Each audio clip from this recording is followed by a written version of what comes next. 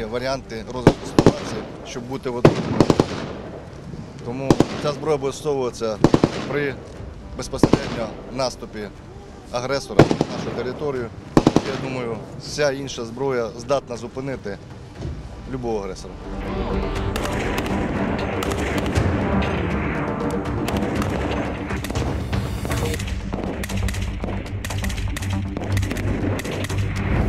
تحدثت وزارة الدفاع الروسية الأوكرانية بالأمس عن هجمات سيبرانية طالت موقع وزارة الدفاع الأوكرانية وأكبر المصارف في البلاد لتعود اليوم طيب. وتصدر بيانا تقول فيه بأن كل شيء عاد إلى طبيعته